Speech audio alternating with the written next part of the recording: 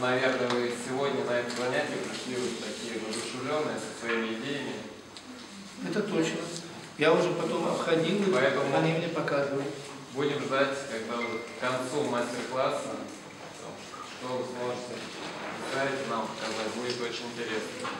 Я в свое время, когда а, учился в школе, то есть был ребенком, я учился в художественной школе. Поэтому, знаете, у меня как было, все ребята, я же в Лагане вырос, ребята там играть будут на улице, а я же в художественной школе. Мучился, мучился. ну, на самом деле, когда я садился в было. я забывал, погружался, то есть это на самом деле Ну, очень сильно того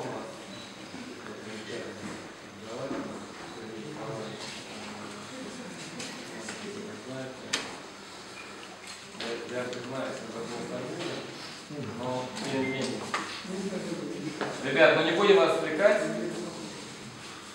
Работайте, говорите, говорите.